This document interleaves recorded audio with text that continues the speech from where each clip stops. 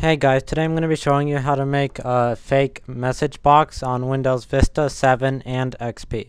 So first you're going to open up Notepad and then you're going to type this x equals message msg box parenthesis then quotations and don't worry this will be in the description so you can copy and paste it then you put your message here another quotation comma 0 plus 16 comma and then this will be the title of the bo message box.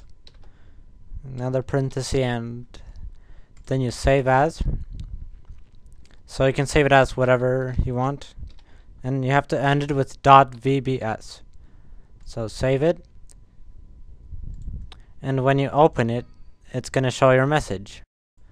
And now you can use this to prank someone. So you can go to edit you can change the message to something like your recycle recycle bin was stolen. And then error.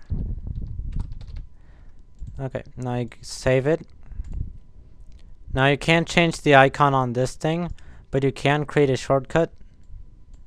And then rename the shortcut to recycle bin and then right click properties change icon and then you can choose any icon from here but I'm gonna do the recycle bin.